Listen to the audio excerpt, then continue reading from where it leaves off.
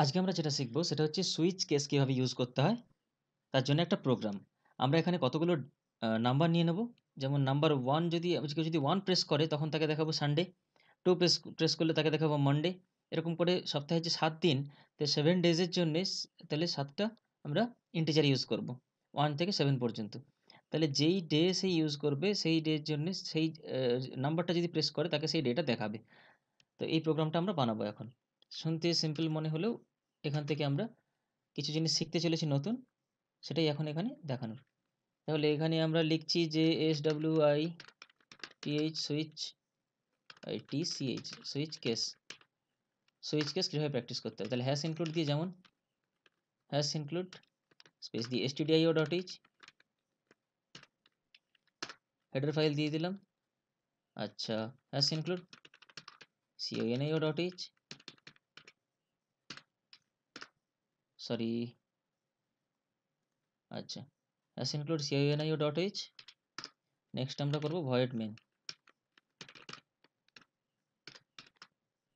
Void main দিয়ে দিলাম, দেওয়ার পর এখানে একটা ইন্টিজার নাম্বার ভেরিয়েবল নিয়ে নেব। ইন্টিজার ভেরিয়েবলের নাম কি দিলাম? নাম দিয়ে ইন্টিজার ভেরিয়েবল নিলাম। এবারে পিআরআইএনটিএফ প্রিন্ট এফ দিয়ে ইউজারের কাছ থেকে আমরা ইনপুটটা নেব। কি লিখব তাকে সেখানে? যে enter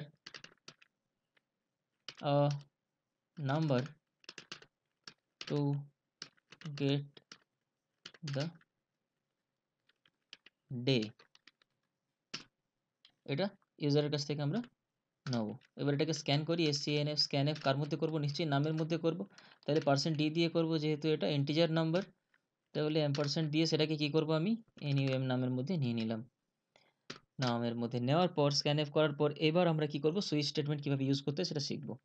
তো কন্ডিশনাল স্টেটমেন্টের মধ্যে একটা হচ্ছে switch statement S S W I T W I T C H switch এই লেখার পরে এর মধ্যে কি লিখতে হবে? না ভেরিয়েবলের টাইপটা নামটা লিখতে হবে। ভেরিয়েবল এখানে কি?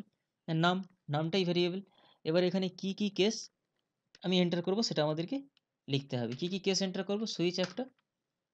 তাহলে ফাংশন সুইচ ফাংশন দিয়ে আমরা এর মধ্যে কি ঢোকাচ্ছি না ফার্স্ট দেবো আমরা case case one case one দিলাম। কেস ওয়ান দিয়ে কলন দেবো একটা। কলন দেওয়ার পর কি লিখব? না P R I N T F আমি যা কাজ করাতে চাই সেটাই করবে। আমি জাস্ট প্রিন্ট করাতে চাইছি ডেটা সিম্পলি তাহলে print Sunday S U N D A Y Sunday এটা প্রিন্ট করালো।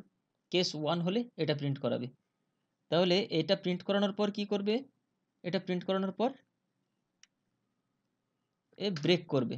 B R E A K break করে যাবে। ব্রেক করা মানে কেস ওয়ান যদি স্যাটিসফাই করে যায়, তারপরে আর কেস টুটা এক্সিকিউট করবে না। এই জন্য এটাকে ব্রেক করে দেওয়া হলো। নেক্সট হচ্ছে কেস টু তো আদারওয়াইজ কী করবে? কেস টুতে যাবে। কেস টুতে গিয়ে P R I N T F print F করলাম। প্রিন্ট এফ করার পর এখানে কী করলাম? মানডে এমও এন আমি জাস্ট এমও এন লিখে দিলাম মানডে আচ্ছা। নেক্সট একইভাবে বি আর ই এ কে তাহলে জিনিসটা বোঝা যাচ্ছে, এইভাবে লিখতে হবে প্রত্যেকটার জন্য। তাই আমি কি করছি কেসটা কপি করে নিচ্ছি জাস্ট কন্ট্রোল সি করে কপি করে নিয়ে এন্টার চেপে এখানে control V control V control V কটা হলো?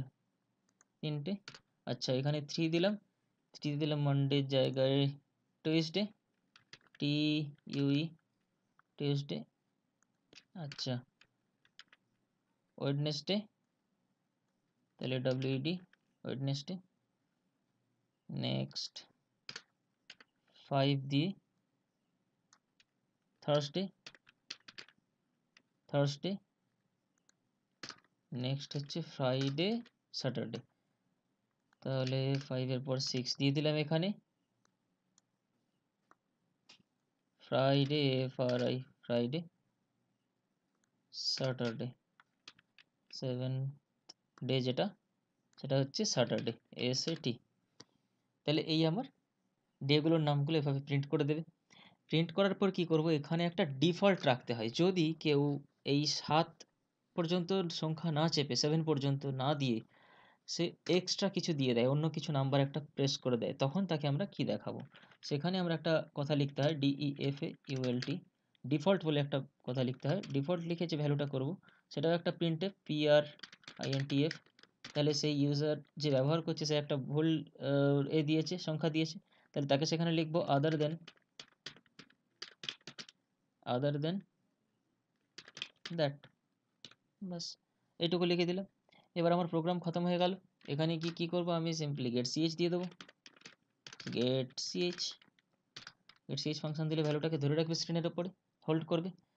তাহলে এই আমাদের প্রোগ্রাম হয়ে গেল সুইচ কেসের নেক্সট আমরা কি করব? এটাকে সেভ করব। তাহলে কন্ট্রোল এস টিপে সেভ করতে পারি। সেভ করার সময় কি করব? Program P R O G R M program আমাদের টোয়েন্টি টু পর্যন্ত হয়ে গেছিল। তাহলে টোয়েন্টি থ্রি দিয়ে দেবো এখানে। টু থ্রি টোয়েন্টি থ্রি দেবো সিক সি সোর্স ফাইল করে দেবো এখানে। সেভ করব সিম্পলি সেভ করার পর এটাকে আমরা কি করব? কম্পাইল করাবো। কম্পাইল করালাম। কারণ এরার আছে কিনা দেখি? হ্যাঁ এরার এখানে আছে। তাহলে এখানে আমি একটা সেমিকলন দিয়ে কিন্তু শেষ করে নিই এটাকে ডিফল্ট ফাংশনটাকে তাহলে এখানে সেমিকলন দিতে হবে। তাহলে এররটা আমরা বুঝলাম এখানে সিনট্যাকটিক্যাল এরর একটা করে দিয়েছিলাম। এররটাকে আমরা এখানে রেক্টিফাই করলাম। দিয়ে কন্ট্রোল এস করে আবার কম্পাইল করাবো। দেখি কি করে। ওয়েট হ্যাঁ এরর ওয়ার্নিং দুটোই জিরো তাহলে এটা ঠিকঠাক কাজ করছে। প্রোগ্রামটা ঠিকঠাক কাজ করছে। তো এবার আমরা কি করব? রান করাবো এটাকে। রান করিয়ে এন্টার নাম্বার তাহলে ওয়ান দিলাম, দেখি কি? সানডে দেখাচ্ছে। তাহলে ঠিকঠাক কাজ করছে টু দিয়ে দিই। এন্টার মানডে দিচ্ছে এমন তাহলে এটাও ঠিক কাজ করছে। আচ্ছা ফাইভ দিয়ে দিই। থার্সডে দিচ্ছে, এটাও ঠিক কাজ করছে। আচ্ছা আমরা এইট দিয়ে দিই। আচ্ছা আদার দেন দ্যাট কারণ সেভেন পর্যন্ত আমরা কন্ডিশন দিয়ে রেখেছি ওখানে। বাকি কোনো কন্ডিশন দিইনি default condition other than that লিখে রেখেছি, তাই আদার দেন দ্যাট লিখে দিয়েছি এখানে।